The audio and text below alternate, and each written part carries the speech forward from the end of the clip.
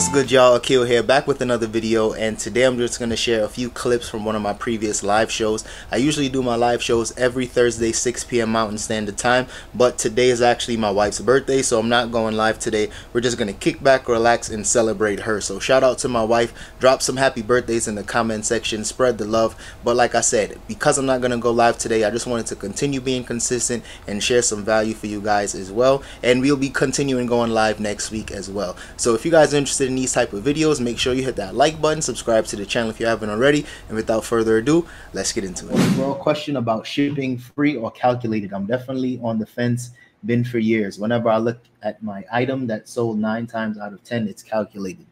Um, but for me, I just prefer doing free shipping and I just um, just add the cost of shipping into the buy it now price. And the, the big difference, what I've seen with that is that with eBay, they charge you ship it. They charge you for the the final value fee they charge is based on how much the item sold for. And if you charge shipping, they also charge you a fee on that. So I just decided to at least try to save a little bit of money on the, the shipping side of the fees. I just would integrate the cost of the shipping into my purchase price.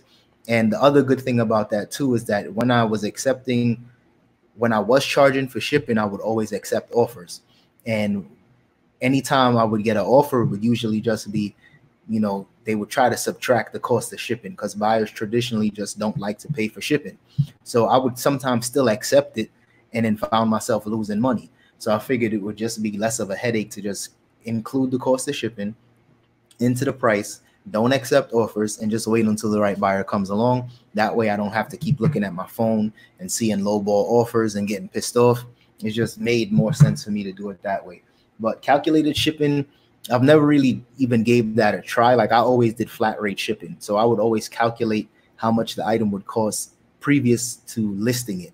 So if I knew for a fact this could fit in a padded flat rate envelope, I would just charge like eight bucks because I know padded flats would cost like 750. So I never really did too much um, calculated shipping, but I mean it it, uh, it it makes sense. It just either way you can't go wrong. Let's see. My question is if we're supposed to get discounted and better views for free shipping, why isn't anyone really doing it? And that's how I feel anyway. Yeah, a lot of people do free shipping. Um, there's a lot of sellers uh, that do free shipping and free returns. I don't do free returns, but eBay was really pushing for sellers to use free returns. So for me, like I said, I just do free shipping. If somebody, if the item doesn't fit, you know, and the item and the person wants to return it, they have to pay for the cost of shipping and that's just that's just what what works best for me. But I always tell people it's a million and one ways to run your eBay store. I just like showing you guys how I do it, but you know, calculated shipping, all of that type of stuff, free shipping, free returns, it works. How do, brother? I have a problem shipping large items like toys. How do you manage those items? Oh, bro, pirate ship. Anything large and heavy is perfect for pirate ship. Um, you got to use that to save money on shipping. I know if it's like a first class item, if it's a flat rate item, it's the same cost on eBay as with pirate ship. But if you're dealing with like a like a really heavy item, most people would say, you know, FedEx, uh, FedEx Smart Post. I used to use FedEx Smart Post all the time when I was dealing with bulkier, heavier stuff.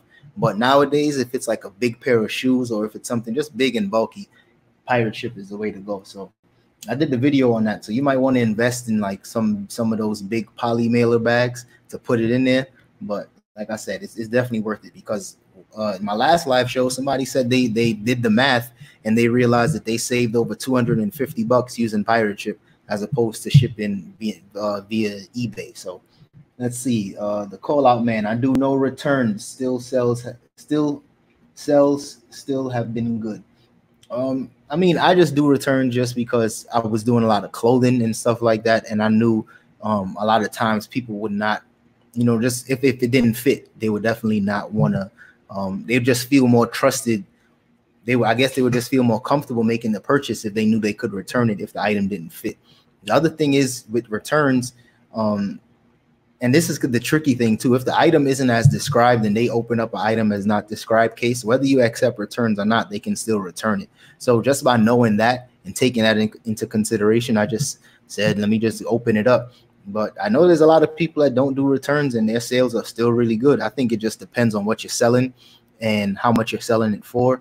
I realized that a lot of those like cheaper items, like thirty dollars and and under, for some reason I will always get a return or item not as described, and it was just those type of just that audience. You know what I mean? It's those people that they want a deal, and but they want it.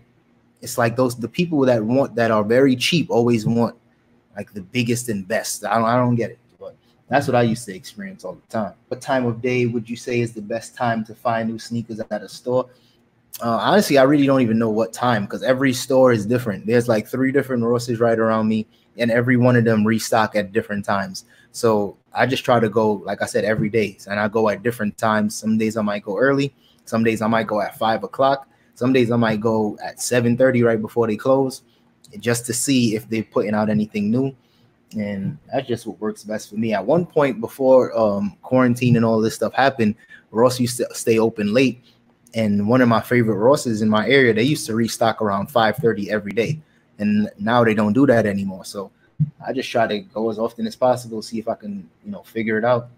You know, where's the best place to get cheap six by nine poly bags? I would probably go to eBay or yeah, I'll probably go to eBay. I I probably because Amazon stuff is probably a little more expensive, especially if you're going to be, you know, prime shipping and all that stuff.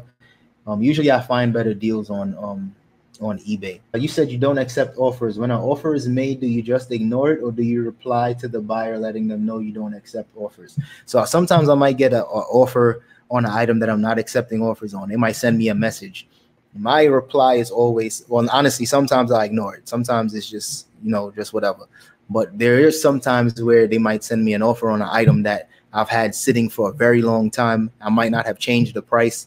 I'll go back in and check the comps, and for whatever reason, now that item that I priced at 120 is selling for 90 bucks on average in over the last month and somebody will send me an offer, oh, would you take 90 bucks? If it if it's selling for what the market says it's selling for, I would definitely go ahead and accept that. But usually I just ignore it because I try to stay in touch with I try to like monitor my eBay store and just change prices, change listings, uh, photos, all those types of stuff. I try to do that often. So it's very, very rare that I'm pricing something uh, way off. See, here's a tip. When shipping larger shoes in padded envelope, you can use cling wrap, aka saran wrap, to tightly compress the shoes together to make them fit into the padded envelope. That's a gem right there. Thanks a lot. My man Kevin with another tip. Let's go. Keep them coming. If you're shipping shoes in a padded envelope, but you can't quite seal the end, you can cover the opening with the white eBay branded tape. The white eBay tape blends in with the envelope. My man Kevin, that's what I do. That's the tip I know. But you got all the tips. Thank you very much. That's what I like. I like it. Everybody sharing tips, making life easier for everybody. That's what it's about. Imagine if everybody did that all the time. Let's see. As a new seller, eBay puts a limit on how many pairs of sneakers you can sell on there. I could list, I could only list five pairs. What? Five pairs? I did not know about that. That sucks. Um, you can always rec- you can always call eBay and request for them to like any of those like limits that they put. You can always call and ask, even if you're a new seller if you call and just ask them, I'm pretty sure they can work with you, especially if you've been making some sales. You can just ask, and if they don't, and whoever you're speaking with, if they don't answer or if they don't, you know, give you the access, hang up, call and call again, and that's all I would do. I literally just keep calling them until I get uh, whatever I'm calling about. I just keep calling, and now you can't necessarily call and get an answer because if you call eBay, they just lead you to voicemail. So what I do is I would put the request in for them to call me and then you know if the call doesn't work, if they don't do what I asked them to do, put another request and get back on the phone. How do you block someone on eBay? I got a low baller. I know it's not personal, but he counters even less than his initial offer. Um, go go on, just Google block eBay. Google block eBay bidder list. I just Google those exact words, block eBay bidder list, and it'll take you directly to the link and it shouldn't you shouldn't even need to log back into your eBay account because I have a very extended list of blocked people on eBay from when I used to accept offers, and I feel like it was just trolls. Like they might have been people watching the channel and they just send lowball offers just to be funny. You know, just block them. See what kind of items are you looking to stop stock your stores with for fall and winter? This will be my first holiday season as a reseller, so I want to stock up now. Very good question. So I'm definitely focusing on boots, like any type of winter boots, um, winter jackets, like puffer jackets, puffer vests, all those types of stuff sell really well between uh for, like from basically the whole fourth quarter up until about February, March, you'll still see a decent amount of sales coming from winter type stuff. So definitely stock up on winter boots, uh, those vests, coats, um, snowboarding gear like snowboarding pants, um, the, the snowboarding jackets, Burton. That's a really good brand to be on lookout for. Like anything related to those type of stuff usually does sell pretty well. Um, come to think of it, I was finding a lot of snowboarding stuff when I was in Santa Barbara because, like I said, it's a very wealthy area. So people probably would go back and forth to wherever the snow was in Cali. I don't know if I'm gonna be able to find those types of stuff in thrift stores now, but depending on where you are, you definitely want to check out for those type of stuff because fourth quarter, if, if you're selling brand new with tags items, just just me speaking from experience. Last year, when I invested a lot of money into UGG like inventory, it took a while to sell because I bought a lot of those stuff in the summertime. But once fourth quarter came around, those stuff was flying off the shelves. And the year before that, I heard people say fourth quarter is huge. So I did a lot of thrifting and I just tried to buy a bunch of stuff that I could find. But I wasn't seeing that same type of return, that same type of action from thrifted items. I didn't see much of a, a increase in sales when I was just doing thrifted. So once I switched up my store and I started having brand new tags, that's when I was getting more sales. You killed it with those ugly. Yes, I was, man. It was like that was the first month where I grossed over ten thousand in sales. That was my very first time doing that. Never forget that. That was amazing. And that was just last year. Like it's crazy how time like changes because I remember at that point I would I was never seeing ten thousand in sales. Now it's become more normalized, but at that point, psh, boy, I was hyped. Can you explain what exactly fourth quarter is? I have a basic idea. So fourth quarter is the the fourth quarter of the fiscal year. So some so basically from September to December 31st, I think like September 15th, around there is when basically more people are shopping, more people are online because everybody's buying gifts. People usually start buying gifts as early as the summertime sometimes. But during that fourth quarter time is when people are buying gifts for themselves, you know, shopping for their kids, their wives, their, you know, significant others. So a lot of people are just shopping. You know, it's Christmas time. So that's the whole like fourth quarter situation. I just try to be prepared for it because, like I said before, my goal for this year was 300,000 in gross sales. And because of, you know, the virus and all these things that came about, I wasn't able to buy as much inventory as I probably would have been getting during those couple of months. So now I'm just trying to play catch up, and I think we're doing pretty good. We should hit that goal as long as sales do well during fourth quarter. So, as usual, of course, you know I'm gonna keep you guys updated. When you say you are stocking up for Q4, do you wait and drop them Q4 hits, or are you listing them now still? Now I'm listing them now. Like everything I'm getting, even if it's a coat, I'm I'm listing it now. Big coats, big boots, it's going up now because you never know. People might buy it now, and then I just get my money back faster. So clothing has been real slow. Other than shoes, what do you like to source most? Um, right now, I'm sourcing a lot of hard goods. I'm sourcing a lot of like random electronics. So when I do go to the thrift stores, like I said, not Savers, not Goodwill, we not going there no more. Um, I would usually pick up like um, those cordless house phones. Those are selling really well. Um, that Bose Sound Dock I just picked up a couple days ago. That one sold within a matter of days.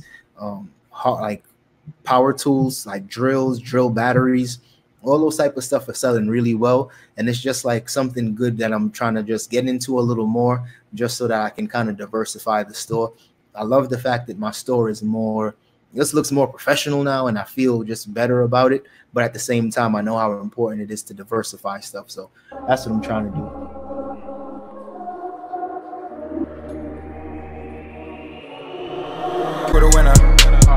Cause you like you was losing,